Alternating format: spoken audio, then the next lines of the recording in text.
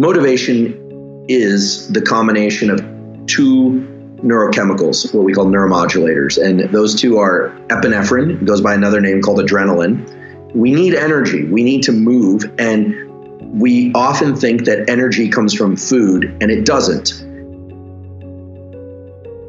Energy comes from neurotransmission and from particular neuromodulators. We need to eat, of course, to sustain ourselves, but goal directed behavior requires a fuel, and that fuel is epinephrine. And there are ways to increase epinephrine. We'll talk about in a moment. The other is dopamine. You know, the neuromodulator dopamine does many things. It's involved in reward and feel good, but its main job is craving and motivation. I have a colleague at Stanford, um, Anna Lembke, who's a psychiatrist. Uh, she actually has an amazing book coming out in August called Dopamine Nation. She talks about dopamine as the molecule of craving. There's also another book called The Molecule of More, which is um, very good about this. Dopamine isn't about reward, it's about craving and motivation. And dopamine at the same time is something that we that we get more of when we reach milestones. So epinephrine and dopamine are close cousins in motivation. There is a way to increase epinephrine, just pure physiology.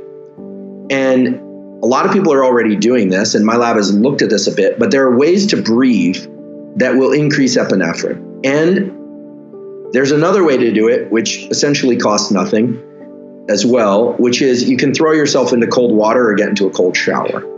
Now, I'm not, there are a lot of reasons to do cold exposure uh, as long as it's done safely. But one of the things that isn't often understood is that when you get into a cold shower and you decide to deliberately stay there for one to three minutes or maybe even longer, you are releasing adrenaline from your adrenals and you're releasing the same molecule from your brain, which is epinephrine. It's called epinephrine in the brain. It's adrenaline from the adrenals in the body. Getting into an ice bath will do the same thing. That will increase your energy level. It is a mild form of stress, but it is energy level. Exercise will do it too, but a real quick way to do it is to get into a cold shower or an ice bath. Not everyone wants to do that. So, with respiration, you can do this.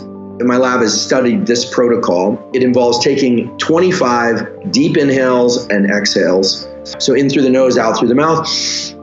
25 of those, and you will be alert you will actually feel a little agitated. However, if you finish 25 or 30 of those breaths and you exhale all your air and hold your breath for about 15 to 30 seconds and then repeat, what you'll find is that during the exhale hold period, you can achieve a state of calm with very high levels of alertness.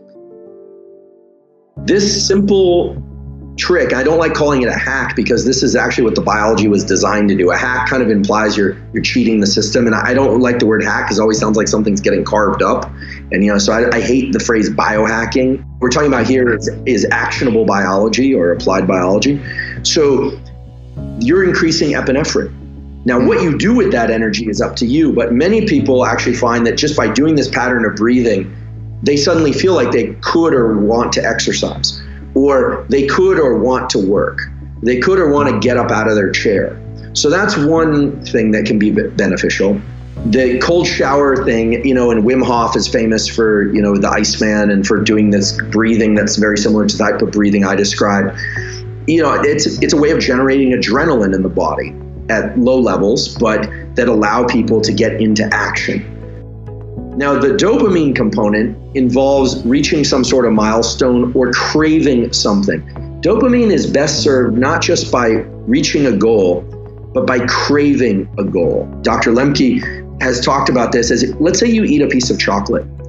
We think that the dopamine release that you get from that is actually about the satisfaction from the chocolate. But the next time you eat something delicious, pay careful attention the good feeling that you're feeling is actually the craving for more.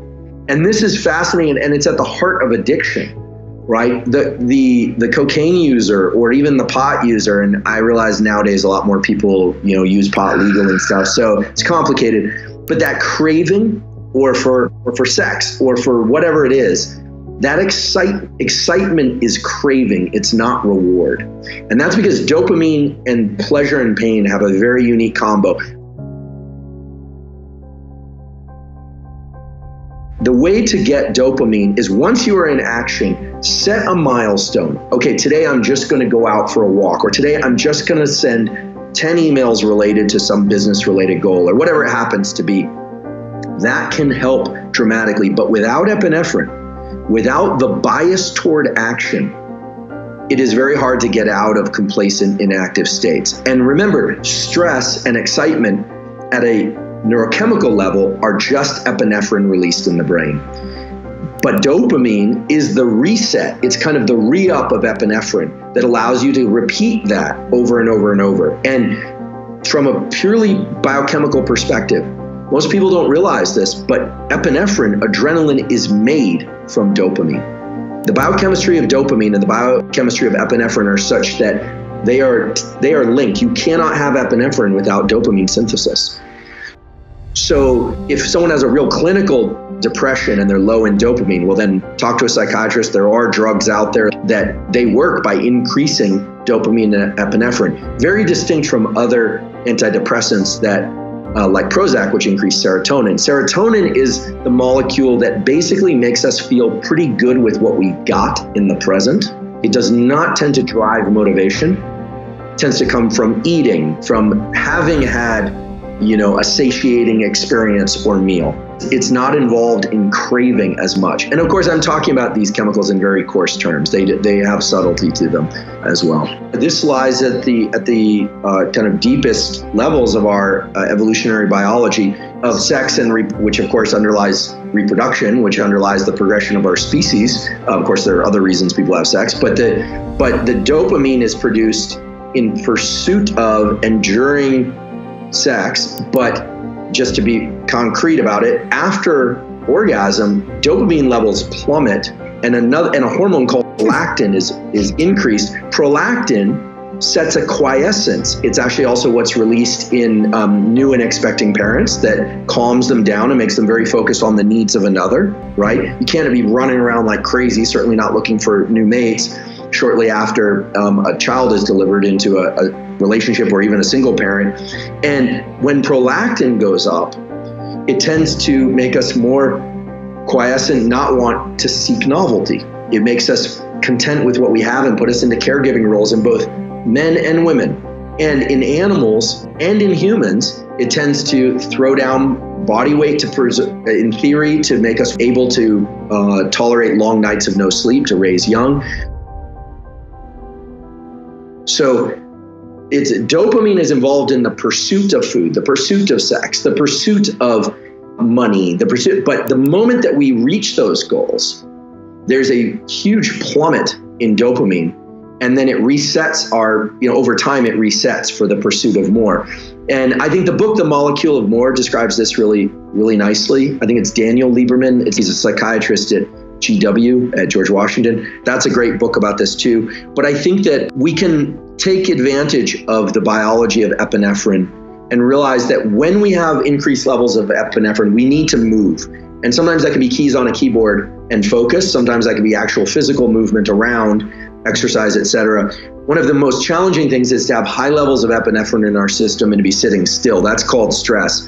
And 2020 was a forced situation of, of limited movement from our usual routines and a lot of incoming information that was very triggering to a lot of people. And I realize we're still somewhat in this, but whether or not it's for work purposes or fear of COVID, et cetera, it's clear that bodily movement is a very, very good thing. And that the more we physically move, the more that these circuits in the brain and body that underlie motivation get carried out because the reason we have a nervous system is to move. The only way we can affect anything besides ourselves, other people, other events, etc. There are only two ways. One is movement and the other is sweating.